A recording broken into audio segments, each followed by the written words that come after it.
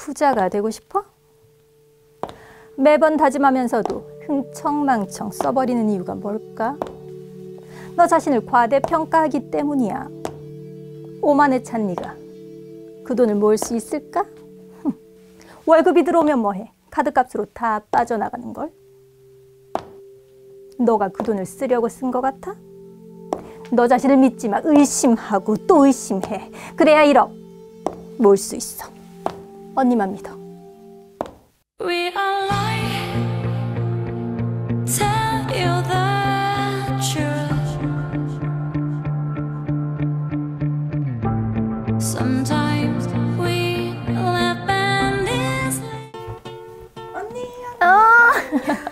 아유, 난 맨날 술집 와서 콜라만 먹어. 난 콜라인 육포지. 자본주의 다큐 다들 봤지? 숙제했지? 이런 생각은 들었을 것 같아. 아, 내가 모르는 세상이 있었구나. 그러면 뭐야? 난 뭐 어떻게 살아야 되는데 자본주의에는 노동자 말고 자본가가 존재해. 자, 어떤 건물주가 있어. 건물에서 월세가 한 달에 천만 원씩 나와. 그러면 이 사람은 노동으로 돈을 벌지 않아도 잠만 자고 일어나면 천만 원씩 나오는 거야. 이런 게 바로 자본 소득이라고 하는 거야. 나 대신 나를 위해서 돈을 벌어줄 나의 자본이 있는 거지. 그럼 저도 건물주가 될 수 있다는 거예요? 뭐 한잔 사야 얘기하지. 오늘 술값도 네가 낼 거야? 제가 살게요. 알았어. 자, 제일 먼저 뭐를 해야 되냐면 일단 현재 내가 어디 있는지를 알아야 되잖아. 지금 여기 출발 지점을 파악을 하는 거야. 그게 바로 나의 수입 지출 확인하고 자산 현황을 파악을 하는 거야. 수입 파악은 쉽잖아. 그냥 통장 찍어보면 되고 지출은 카드값 3개월치 뽑아와. 왠 줄 알아? 내가 눈으로 스스로 보고 내가 어디다 쓰는지 항목을 파악을 해야 돼. 고정 지출은 뭐뭐뭐가 있다. 총 얼마다. 근데 꼭 쓰지 않아도 되는 이상한 데다가 내가 돈을 계속 쓰고 있네. 내 방앗간이 어디네. 이런 거를 체크를 해야 돼. 이거를 하고 나면 또 목표 생활비를 정하는 거야. 그래야 목표 저축액을 구할 수가 있잖아. 보통 200만 원 벌잖아. 그리고 대부분 100만 원 쓴단 말이야. 그러면 목표 생활비 100만 원 잡았으면 저축 가는 금액이 얼마요? 100만 원이지. 그러면 이 100만 원을 1년 모으면 얼마요? 1200이야. 그치? 그러면 내가 1년에 저축 가능한 금액 1200만 원을 이제 딱 구해놓고 그 다음에는 이제 뭐를 해야 되느냐? 내 자산, 현재 내가 갖고 있는 돈이 얼마 있나 파악을 해야 돼. 그럼 1년에 1000만 원씩만 저축을 했다 그래도 내 돈 얼마 있어야 돼? 4, 5천 있어야 되잖아. 너 돈 얼마 있니? 네. 너왜 돈이 없어? 리뷰해봐야 되는 거야. 내가 돈을 어디다 썼지? 내가 왜 지금 돈이 이거밖에 없을까? 어쨌든 나의 현재 자산 현황을 파악을 하는 거야. 제가 지금 200만 원 정도를 버니까 100만 원 저축을 할게요. 아, 너뭐꼭 나를 위해서 저축을 하는 것처럼 얘기한다. 뭐 어쨌든 그래서 뭐 저축한다고 제가 건물주가 되겠어요. 집을 살 수 있겠어요. 채찍을 맞아야 되겠네. 이렇게 부정적으로 너는 생각을 하면 어떡해. 너 언니가 되게 만들면 어떡할 거야? 너 집도 사고 어 건물주도 되게 만들어주면 어떡할 거냐고. 너 그 그, 그, 그 건물 1층에 약국 짜리 언니 줄 거야? 여기요. 볼펜 좀 주세요. 너 언니가 그려줄게.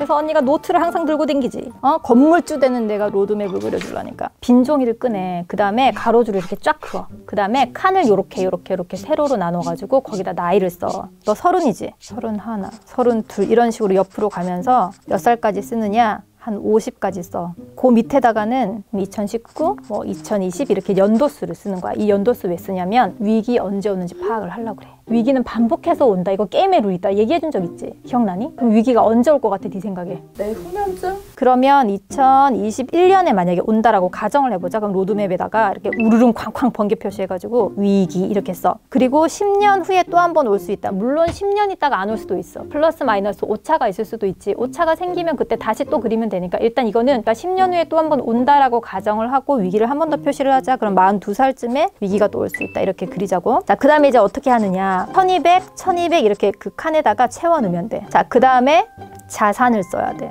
너 지금 얼마 있냐? 그런 걸 왜 물어보세요? 뭘 왜 물어봐? 지금 현재 상황을 파악을 해야지 이 계산을 할 거 아니오. 얼마 있어? 얘기해봐. 500만 원이요. 야, 직장 생활을 한 지 4, 5년쯤은 됐을 터인디. 진짜 심각하게 생각해봐야 돼. 나의 돈이 다 어디로 갔을까? 자, 어쨌든 500만 원 있어. 그러면 500만 원 플러스 1200만 원 하면 1700이지. 그럼 너는 2019년부터 2020년까지 한 해 동안 모을 수 있는 원금만 1700만 원인 거야. 그지? 1700만 원에 언니가 수익률 8%를 곱할 거야. 왜 8%예요? 8% 어떻게 만드는지 내가 또 금방 설명을 해줄 테니까 일단 내가 8%로 가정을 하고 그림을 그린다. 자, 1700만 원 곱하기 8% 하면 자산이 1836만 원으로 늘어나. 근데 이때 위기가 왔다. 만약에 그러면 이때부터는 수익률을 8%가 아니라 50%로 3년간 곱해줘. 왜 그런 줄 알아? 내가 이래서 국가부도의 날 보라고 한 거야. 국가부도의 날 그때 유아인 선생님께서 어? 금 사고, 달러 사고, 뭐 집 사고 해가지고 엄청 신분을 바꿀 만큼 부를 이뤘지. 그러니까 이런 정말 큰 기회가 온단 말이야. 망하지 않을 한국의 1등 회사, 뭐 삼성, 뭐 이런 회사 주식만 사도 이게 다시 회복이 되면 어마어마한 수익을 가져올 수 있단 말이야. 그래서 1년에 50% 수익을 가정하는 거는 위기 때는 막 실현 불가능한 수익도 아니고 그걸 무리해서 지금 그리는 수익도 아니야. 자, 여기에 50%를 곱하자. 곱하기 50%. 그러면 그 다음에 6,718만 원으로 자산이 늘어나 경제 위기가 지나갔다라고 가정하고 수익률을 다시 8%로 떨어뜨려 볼게.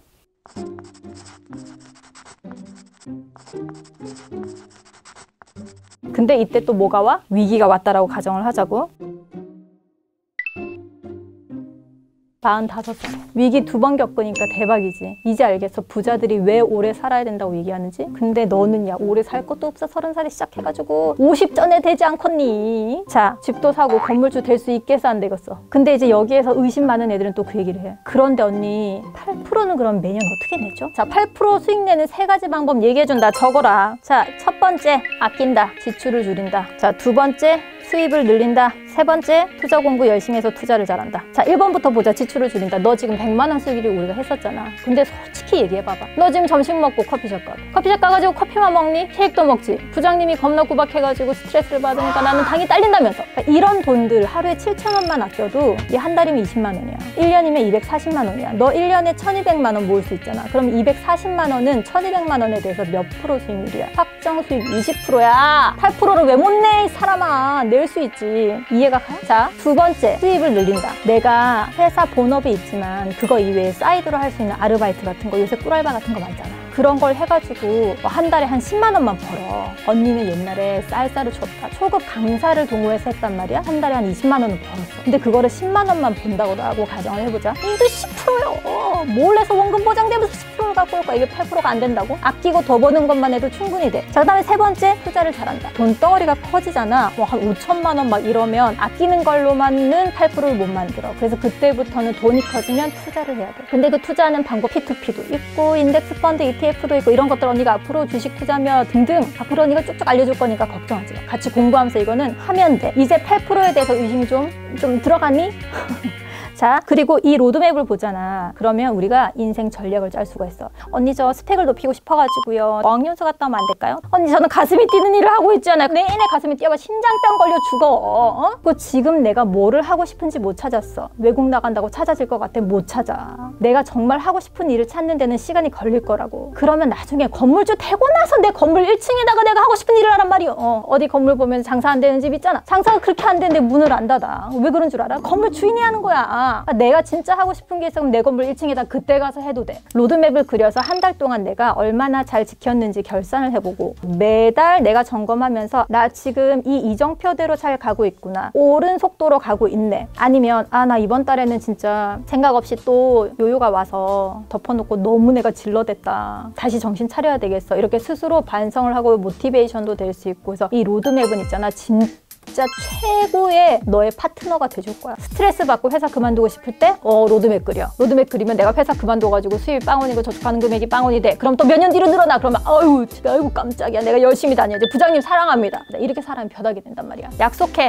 진짜 집에 가서 이거 그려보고, 아, 나 몇 살 때 건물주 될 수 있겠구나. 내가 한 13억에서 15억 정도의 현금을 갖고 있잖아. 그럼 50% 대출 받고 꼬마 빌딩 정도는 살 수 있단 말이야. 또 서울에. 그러니까 목표 금액을 13억에서 15억으로 자꾸 그려봐. 그래서 몇살 때 되는지를 댓글에 달아. 내가 다 스캔할 거야. 검사 다 할 거야. 이 얘기만 듣고 음 로드맵이라는 것이 참 신통방통하고 좋은 것이네. 그리고 집에 가가지고 또 침 질질 흘리면서 또 잠들고 이렇게 빨아먹고 이렇게 하지 말고 알았지? 진짜 로드맵 딱 그리고 그 다음에 또 만나. 그 다음에 언니가 또 해줄 말이 많아. 알았지? 안녕 언제 언니 갈게.